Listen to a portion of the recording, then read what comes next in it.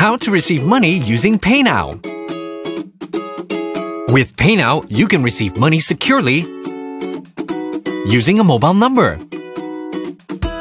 Here's how easy it is to get started. Log into your internet banking or mobile banking. Link your mobile number and or NRIC FIN to your bank account and key in a display name for PayNow. Done! Now you can receive money using your mobile number.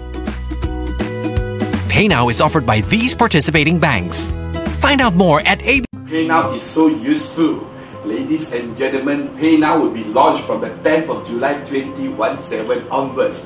From this day onwards, if you are in Singapore, all you need is your mobile phone and you can send payments and receive payments anytime, anywhere. And if you are a vendor, you run a business, and your customers do not want to pay you in cash, you can simply receive payments through PayNow. The question you will ask is, since PayNow is so useful, how much do I have to pay to use it?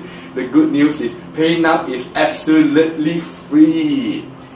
Not only the user need not pay any money, but you as the vendor, if you receive payments, you do not need to pay a single cent of transaction or admin fee at all.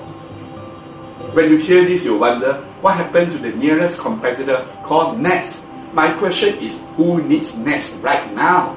Currently, Nets charges people $38 a month to use it as a terminal, plus every transaction you'll be charged 0.65 to 0.8%. So if you run a small business running sales of 50,000 sales, you'll be paying close to $400 a month or 0.8% of your sales.